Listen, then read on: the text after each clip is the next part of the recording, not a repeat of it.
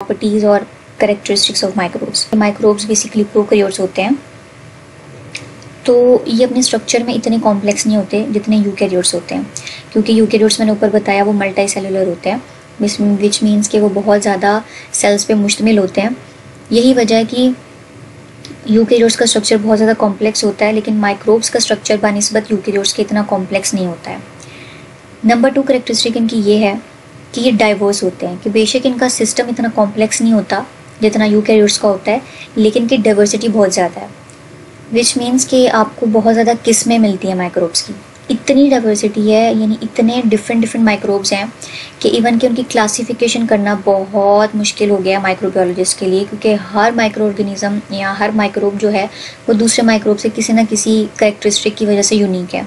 इस वजह से उसकी करेक्टराइजेशन करना या उसको क्लासीफाई करना बहुत मुश्किल हो जाता है। तीसरी इसकी जो करेक्टरिस्टिक है, वो ये है कि माइक्रोब जो हैं, कुछ माइक्रोब जो हैं, वो गुड माइक्रोब्स कहलाते हैं विच मीन्स कि वो हमारी बॉडी को नुकसान पहुँचाने के बजाय उल्टा हमें फ़ायदा दे रहे होते हैं। तो हमारी बॉडी के अंदर कई ऐसे माइक्रोब्स हैं, जो गुड माइक्रोब्स कहलाते हैं। लेकिन कई माइक्रोब्स हमारे लिए डिज़ीज़ का बायस बनते हैं और बहुत ज़्यादा ख़तरनाक भी होते हैं। ठीक है? तो ये तीन मेन करेक्टरिस्टिक्स हैं माइक्रोब्स की। इसके अलावा ये प्रोक्रियोट्स के बारे में जो है, ये एमसीक्यू में पूछा जाता है। प्रोक्रियोटिक सेल है और ये एक यूक्रियोटिक सेल है, जिसमें आपको वेल डिफाइंड न्यूक्लियस जो है, वो नज़र आ रहा है। लेकिन इसमें वेल डिफाइंड न्यूक्लियस नहीं है।